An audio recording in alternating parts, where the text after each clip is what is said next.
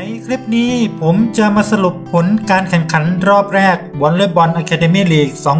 2567 ซึ่งจะเป็นรอบของการจัดอันดับ หมายความว่าจะยังไม่มีทีมไหนตกรอบนะครับ รูปแบบการแข่งขันในรอบนี้ ก็จะเป็นแบบพบกันหมดทุกทีม ผลการแข่งขันเป็นดังภาพนี้นะครับ ในสาย A นครนนท์มาเป็นอันดับหนึ่งชนะ 3ไม่แพ้ใครเลยนะครับ อันดับ 2 คือสุพรีมทิพยชนบุรีเทคชนะ 2 แพ้ 1 RSUI มาเน่มาที่ 3 ชนะ 1 แพ้ 2 และ a m b i l i e f ศรีสเกด VC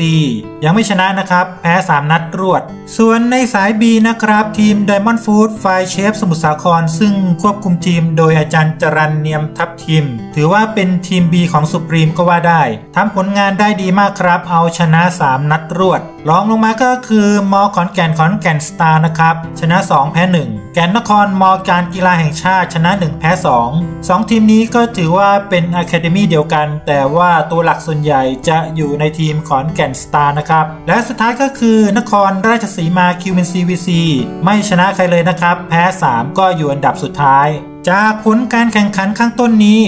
เมื่อนำมาไขว้กันก็คือ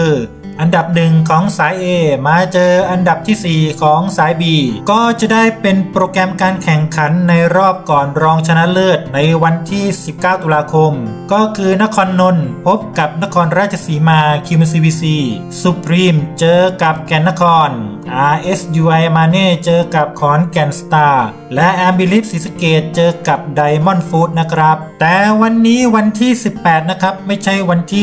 19ก็หมายความว่าการแข่งขันของทีมหญิงจะเป็นวันพรุ่งนี้ ในวันนี้จะเป็นการแข่งขันรอบก่อนรองชนะเลิศของทีมชายสำหรับข่าวผลการแข่งขันรายการนี้ก็มีเพียงเท่านี้นะครับ แต่ว่าในช่วงบ่ายผมจะออกคลิปวิเคราะห์เกม ระหว่างทีมสุพรีมทิพยาชนบุรีเทค ซึ่งเต็มไปด้วยทีมชาติรุ่น U18 และ U17 กับทีมแชมป์เก่าอย่างนครนนท์นะครับ เนื่องจากผมพิจารณาว่าในเกมนี้ให้แง่มุมแง่คิดคิดมากมาย และผมเองก็มีข้อมูลที่เก็บรวบรวมไว้จะนำมาเสนอทุกท่าน โอเคครับ พบกันในคลิปถัดไป สวัสดีครับ